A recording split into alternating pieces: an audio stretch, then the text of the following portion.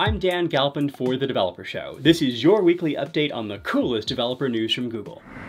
The games teams at Google announced the return of the Google for Games Developer Summit on July 12th and 13th, where you'll get to hear from experts across Google about new solutions we're building to make it easier for you to create great games, connect with players, and scale your business.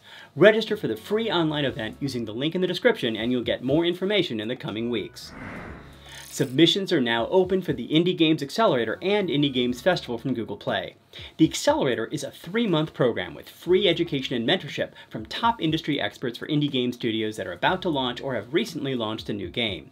The Indie Games Festival is a place to submit a recently launched game that's ready for the spotlight, where you get a chance to get featured on Google Play along with promotions and other prizes. Apply for either program by July 1st using the link in the description we announced the addition of Singapore as our third Firebase real-time database location.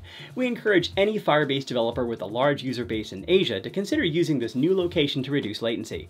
All three locations, the United States, Belgium, and Singapore, are generally available and ready for your production data today, so you can either log into the Firebase console to create a database in Singapore or check out the documentation to learn how to use our APIs to provision databases programmatically we announced new Cloud TPU VMs, making it easier than ever to use our TPU hardware by providing direct access to TPU host machines.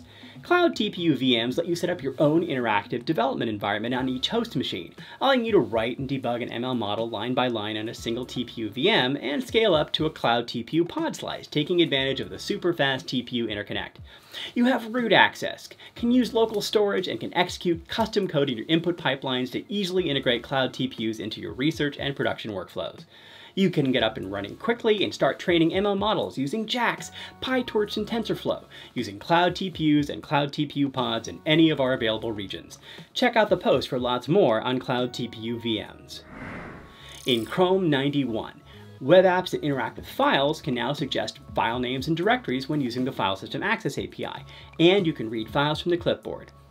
Also in Chrome 91, if your site has multiple domains and they share the same account management backend, you can tell Chrome they're the same, allowing the password manager to suggest the right credentials.